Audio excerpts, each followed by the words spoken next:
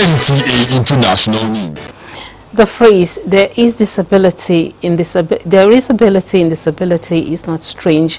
It is used oftentimes to emphasize the need to give people with disabilities that extra push to bring out the abilities in them.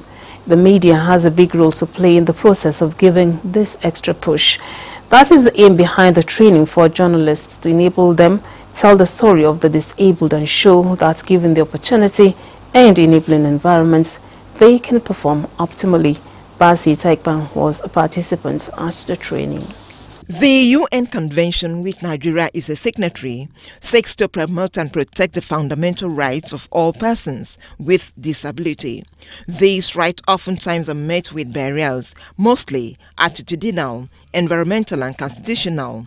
In a bid to remove these barriers, a media training on disability reporting was organized. To see it as your personal and institutional responsibility to raise public awareness about the challenges that Nigerians with disabilities face.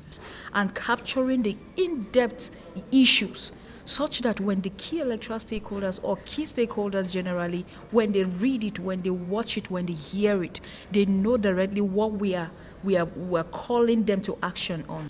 The training highlighted disability issues, the gaps and remedies. Whatever we say on our various platforms and as reporters, if we don't do enough research and we don't understand the issues, we're going to perpetuate misrepresentation, underreporting.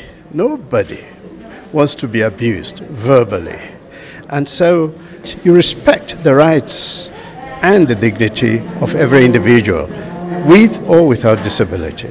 Language in reporting disability issues and charity advertising came to the fore. It was an exciting training session as other journalists and I came out better informed on reporting issues that have to do with people with disability and appropriate language to use. In Abuja, Bassey Ikpang, NTA